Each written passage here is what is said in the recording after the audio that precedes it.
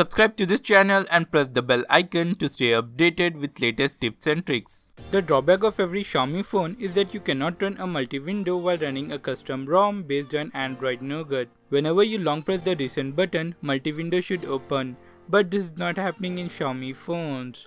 I found a very simple tweak which will help you to enable the multi-window while running a custom ROM. I recommend you to watch this video till the end and let's get started.